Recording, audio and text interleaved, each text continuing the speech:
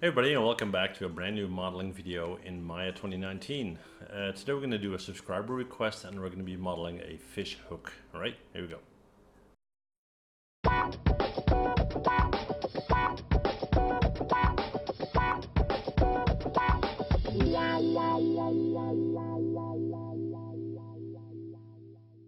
This video has been made possible by Luxion, the creators of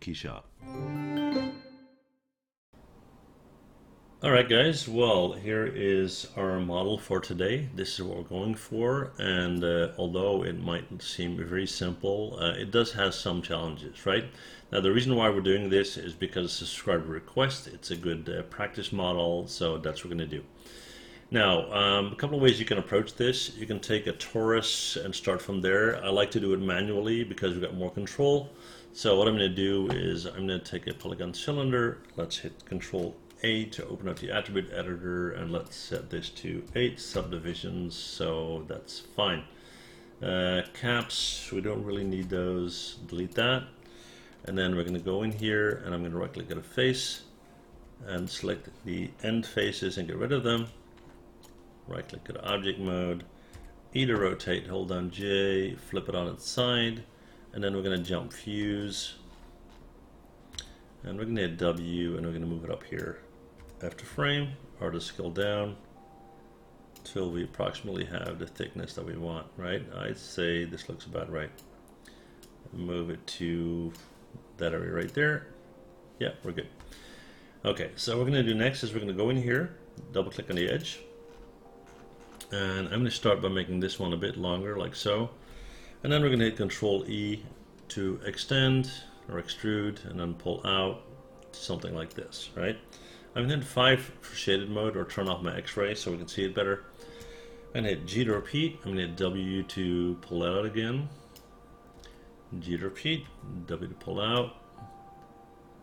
And obviously you're going to want to try and keep your sections the same.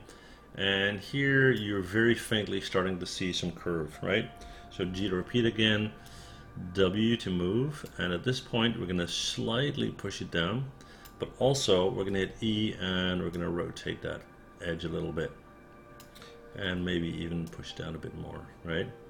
We're going to hit G to repeat again. We're going to hit uh, E to move that out to about here.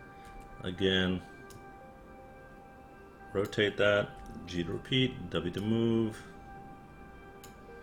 And E to rotate and what you're aiming for is as soon as you hit this horizontal edge line on the grid here, you want this thing to be uh, horizontal as well, right? So we're going to hit G to repeat again, W to push down again, and try and keep those sections roughly the same size. Curve some more, G to repeat, W to push down,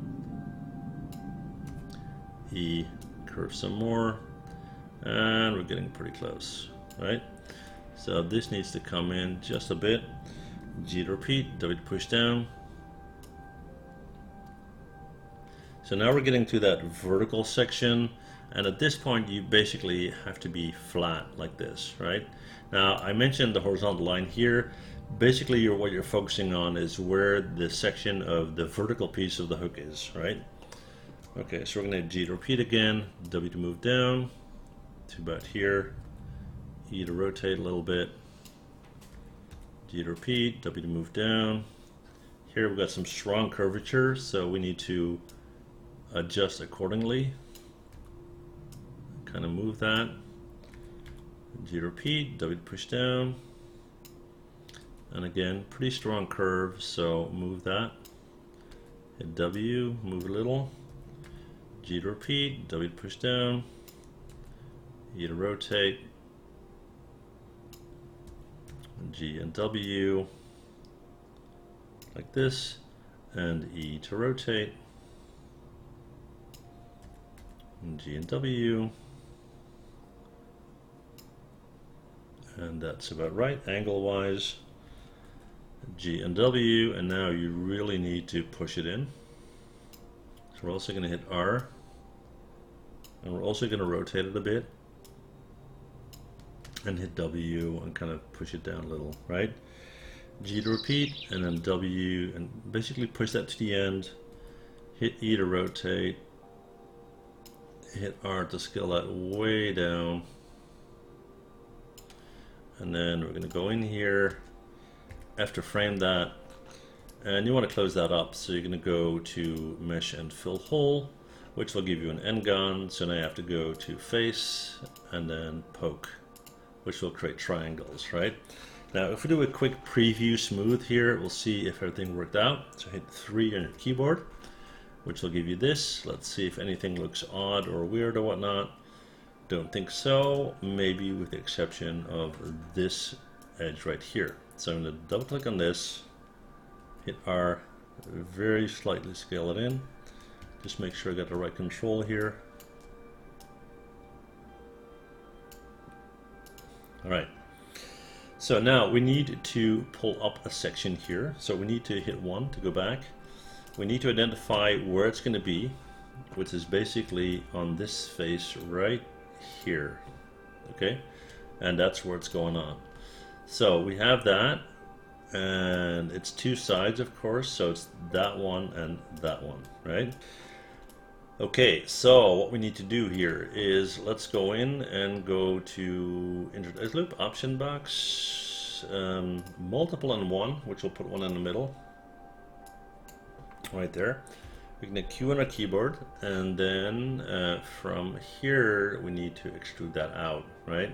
So I need to uh, go in here, go to face, one and two, delete those and then from here take this edge this one and that one.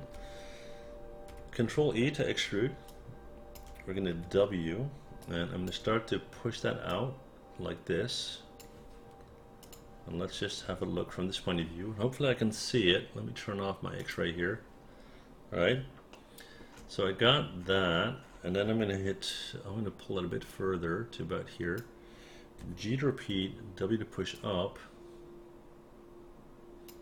and then G to repeat and W to push up again until we're about there, right?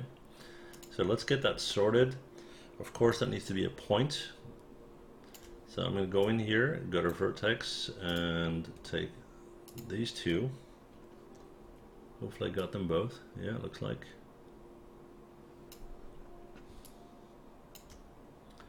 The W, push them up a bit, like that.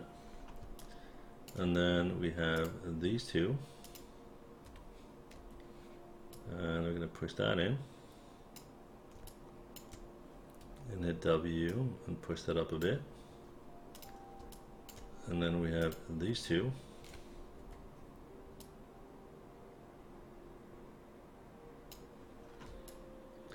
That looks about right I would say. And now we need to sort how we're gonna fix all this right? Okay so uh, let me think, let me think, let me think. Uh, I'm going to start by going in here to edge 1 and 2, edit mesh and bridge, which will fix that.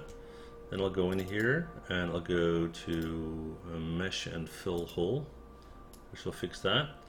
Then we're going to go in here, 1 and 2, edit mesh bridge, 1 and 2, G repeat, 1 and 2, G repeat. Of course, that one doesn't want to, oh, of course not, yeah, sorry. Double click, mesh and fill hole, right? Now, we now have an n-gon here, so we're going to go here to poke, which will create triangles, which is okay.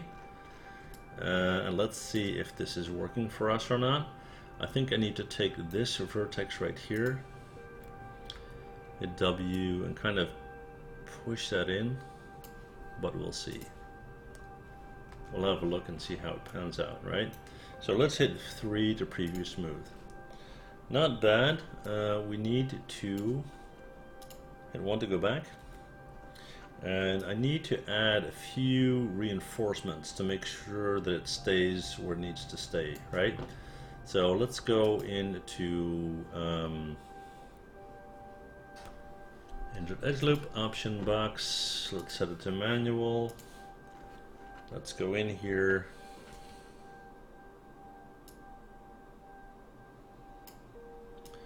I don't want it to become too thin. and hopefully it's not going to have um, too much of an impact on the overall model here but we'll see Q on a keyboard 3 to preview smooth looks a lot better. I want to go back. Here is where I need to sort something. So I'm going to go into vertex. W. Let's push that way back and the way in. And maybe even push that one in a little. All right, three to preview smooth. So we'll have this as our hook. Now we need to have the top eye there. So we're gonna hit one to go back. And we know that we have eight sections here, right? Um, so let's see how we can, and actually, why not do this manually? Why not? I mean, we started that way, let's end it that way, right? So we're going to do, just to have a placeholder, because this is quite tricky, what we're going to do is we're going to go in here and we're going to take a torus, and we're going to use the torus, but it's just going to be a reference, right? So let's set this to 8 by 8, okay? That's basically what we're going for. So we're going to select this guy, we're going to scale it down, I would say that would be about the right size for this guy, something like so maybe, right? And then the inside of the hook looks okay. If we hit three, that would actually be pretty good. Now, I'm just thinking whether there's a way to properly connect these guys, but we still need to have an opening at the end. So I'm going to do as promised. We're going to use it as a reference. Push that down a bit. Okay. So we're going to go in here and we are going to right click and get an edge and double click on that edge. If I can get to it, yeah. And I'm going to hit Control E to extrude and W to pull out. Now as we do that here, you can immediately see that we have to work very hard to make those curves, right? So I'm going to move this out quite a bit, hit W, move it here and it looks like we even need to have to bring it in a bit. So I'm going to move it here like this, G to repeat, W to pull out. So here, again, rotate that quite a bit. G to repeat, W to pull out. And I need to do a lot of tweaking here, so don't call this complete, all right? So we're to go and curve that again. G to repeat, W to push down.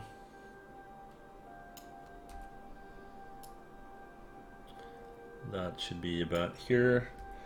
G to repeat, W to push down.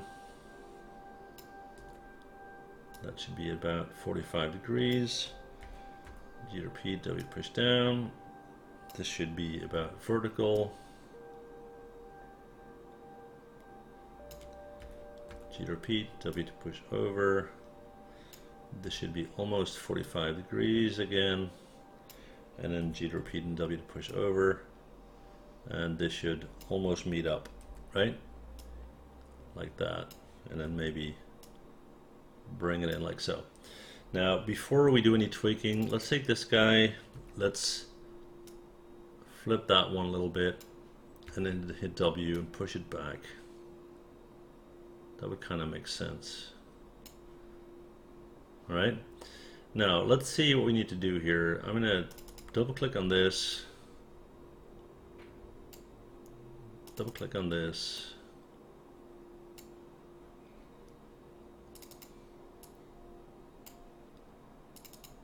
That one definitely needs to rotate. And maybe even move a little like this.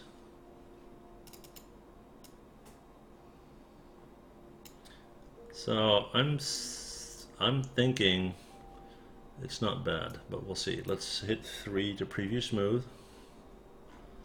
Yeah, like I said, it's not bad. All right, so we're gonna hit one to go back. and I'm gonna go in here to uh, remove option box, single setting, put one in here to hold that. if I can get to it.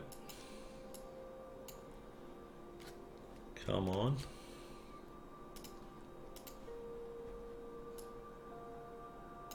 There you go.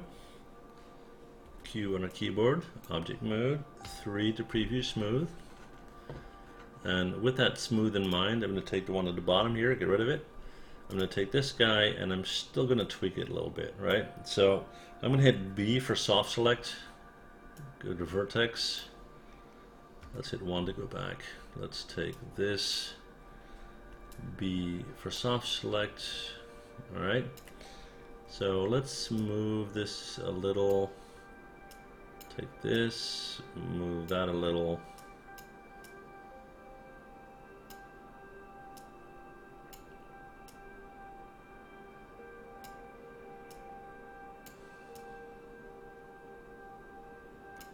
Yeah, it's not too bad. Maybe this. That's not too bad. All right. So let's see if that thing is still open at the end here. It is. Q on a keyboard, B to turn off soft select. Let's go into edge, double click, mesh and fill hole. And then we have to go in here into face, select that face and go to poke to get rid of that n-gon. So we have that and I think we can now go into object mode, mesh and smooth to actually smooth. Right? Now this thing overall, let me just go back in here. I'm kind of thinking I want to make these edges a bit bigger. So we're just gonna double click these guys.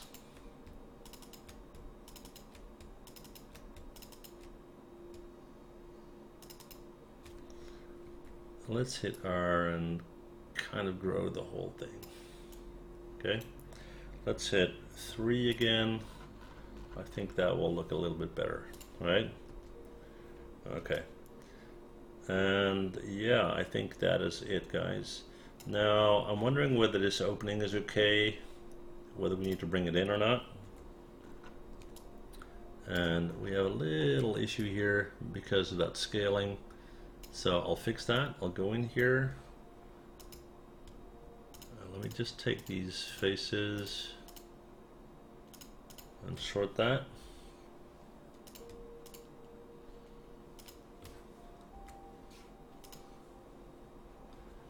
That's what happened when I resize that whole thing. I think we've got everything. So I got edge, double click, uh, edit mesh, uh, mesh, sorry, fill hole. And then face, and then poke and we're good. All right, so um, yeah, three, one. Here's that insert again. Yep. Q on the keyboard, object mode three. Yeah, I definitely want to bring that in a bit. So we're going to go to vertex and we're going to select all of these and we're going to hit W and I'm going to push that as close as possible because if we hit Q and then we go and hit 3 we'll get this right which is okay right so we're going to go back we're going to go to mesh and smooth to actually smooth. Let's set this to sub level 2 which will get a nice clean model. And here is our fish hook. Right, so I'm gonna put some material on this in uh, Keyshot, but this is uh, the modeling bit, and uh, hopefully you enjoyed it. Hopefully you learned something. If you got any questions, let me know as always. And that said, thank you so much for watching, and see you guys next time. Bye.